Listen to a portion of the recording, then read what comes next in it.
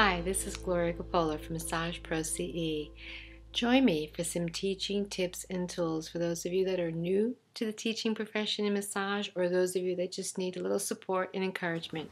Hi, this is Gloria Coppola from Massage Pro CE with another teaching tip for you today. Okay, so you've got your class going, you started out, things are looking really good. You get a few weeks into it, everybody's starting to get a little bit more comfortable with their environment and the setting, but you notice something happening. You're noticing that Sally and Susie are always pairing off. Or you notice that there's a few of them that just always do their exchanges together, but they don't exchange with anybody else. And they don't study with anybody else. What are you going to do about that? Well, you need to make sure that every one of your students gets to exchange with everybody. Why? Because they need to work on different body types, number one, okay? And they need to avoid that clique. Remember those cliques in high school we didn't like? Well, we don't want them in massage school either.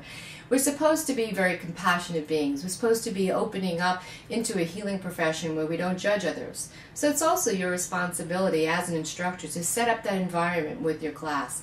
I like to do it in the beginning. I like to be honest and open and get the group to know each other and to find out and watch and observe who's going to have an issue with each other.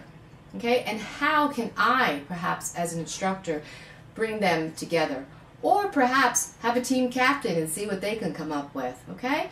So remember, don't allow for your students to just stay in their certain groups. Mix them up when they're exchanging. Also, if you do projects, look at the students that always stay together, separate them and put them in different teams for different projects. Let them get to know each other. They might actually find out they like some of these other people and know, find out things about them they didn't know and say, hey, you know what? Really cool. Or they found a way to teach me something during this study group that I couldn't get on my own. So now they develop a friendship. So pay attention to what's happening in your classroom. Avoid that separation. Find ways to bring them together. Encourage them to partner off, work with each other, and study together. Thank you for joining me today. If you have any questions, contact me at massageproce at gmail.com.